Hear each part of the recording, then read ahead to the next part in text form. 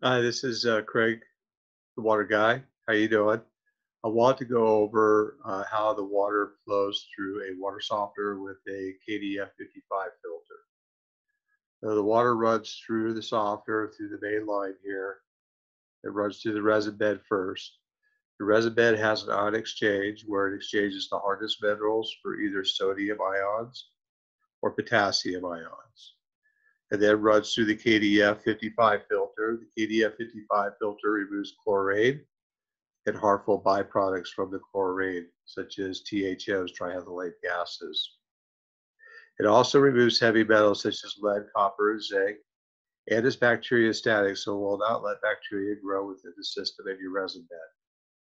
The water then throw, uh, flows up through the distributor tube, comes out of the softener, and enters the home. Hope that was helpful and have a great day.